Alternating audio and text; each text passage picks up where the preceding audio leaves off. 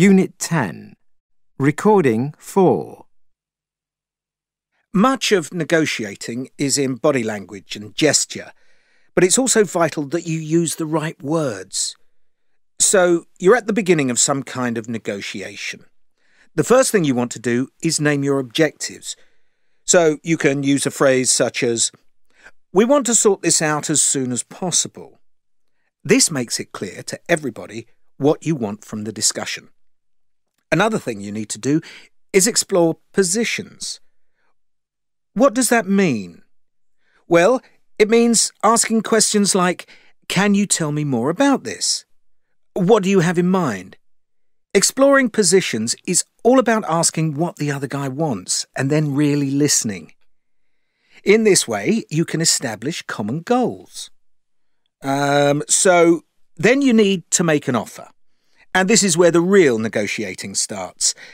And the if word becomes so important because your offer is going to be conditional on certain terms being met, concessions and compromises being made.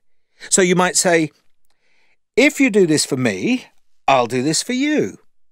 We'd be prepared to help you if you help us. And as for questions, again, we can use if. What if? What if we gave you access to this? What if we gave you a helping hand? What if we supported your idea? In negotiating, the word if is the biggest word in the language. OK, check that you understand. Negotiations can be long and tiring, but you cannot switch off for a moment. If you missed something, don't bluff. You have to ask about it. Go over the points more than once. Be sure. Ask, have I got this right? Are you saying this or that? If I understand you correctly, you mean this. OK, so then you get towards the end game. The haggling is over, it's decision time, and you need to refuse or accept the deal. Refusing is always delicate. You really don't want to close off all further discussion, so you need to be tactful and phrase the refusal carefully. You never just say no. No is a word that closes doors. Instead, you give reasons and explanations. For example, you might say, That's more than I can offer. That would be difficult for me because of my situation. I'm not sure I can do that because I promised something else. In other words, you refuse without saying no. It's at this stage you might want to stall for time, or defer the decision, or if you're in business, consult a more senior colleague.